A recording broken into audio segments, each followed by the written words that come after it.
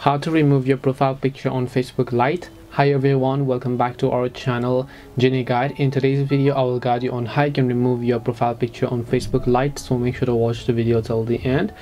If you want to remove your profile picture from Facebook Lite, all you have to do is simply first of all go ahead and launch the Facebook Lite application from here. Once you launch the Facebook Lite app, you're going to see this type of interface where you can just tap on your profile picture here and then you can see my current profile picture.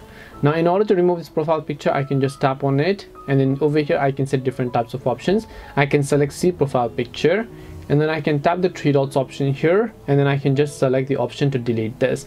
Otherwise what you can do is you can also change this profile picture to some other pictures if you'd like. So you can tap on it tap on select photo on facebook tap on the allow button make sure to choose any of the photos that you've uploaded on your facebook application from other pages and once you've done that your facebook account or your profile picture on facebook lite will be successfully changed this way you can remove your profile picture on Facebook Lite. Hope this video was very helpful and if it did help you, make sure to leave a like and subscribe to the channel. If you have got any questions, then feel free to leave them down.